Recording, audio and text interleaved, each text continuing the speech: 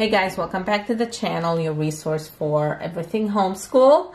Uh, today, um, I've gotten the complete curriculum for fourth grade and for sixth grade as we don't always go on grade level for every subject depending where we need work is where I work. And I needed just the math part for fifth grade right now. Uh, so I ordered in this book and just wanted to see. Now initially, initially, when I look at it, I'm still not finding in fourth, fifth, or sixth order of operation in these. I did find it in the top student books. I'll leave links to everything below. Um, um, but I wanted to see what's in this book and uh, what it covers. Worksheets on math are always great because we usually work on MobyMax. Uh, we're doing Generation Genius. I have an upcoming math program next year that I want to work on and then we do worksheets on top of those. So try I just really like Generation Genius for science, so I wanted to try it for math too. So let's open up a book and see what's inside. All right, so they have six units in here. And I'm trying to make it as easy to read as possible. So these are the headings for them.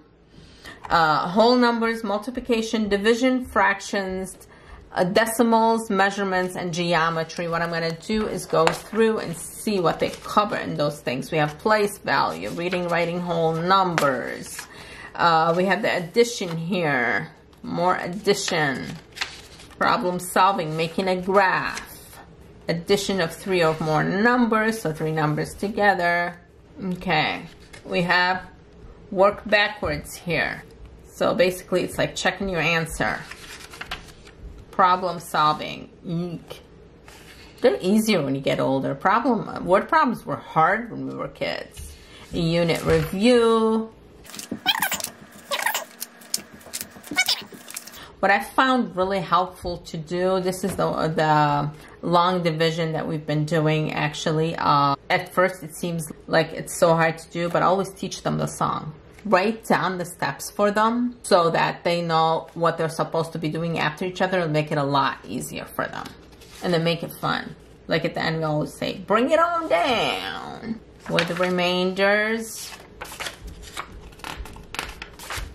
To the divisors, we're working on that right now. And we were working on that at the end of the year. We're continuing with that right now just for more practice. Um, at first, I thought it was going to be so hard to explain it, but once we got to the point where we need to work on that, he seemed to get what he needs to do easily because he's had enough practice with it. All right, we have fractions here. Fractions, fractions, fractions. We do need to do a full and complete thing on fractions because fractions are hard. So estimate fractions. So this is the math part of this book. Again, I'm not going to go through every single one, review, and then we have the decimals, working on decimals. It all goes together, fractions, decimals, uh, comparing decimals, going through all of that, and then adding with decimals, subtracting with decimals, problem solve, solving. They want you to estimate, so learning how decimals actually interact with the rest of the number. A unit review here. And then measurements, working on measurements. We already got through this part over here. We've used a lot of Moby Max for these. I'm a great advocate of Moby Max too.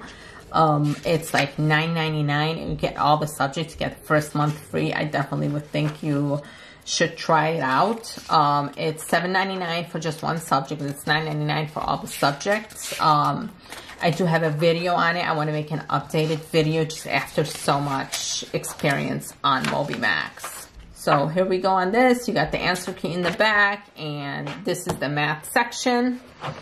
It is 128 pages of information and work. Keeps your kids busy and gets them really working hard and practicing on those. Um,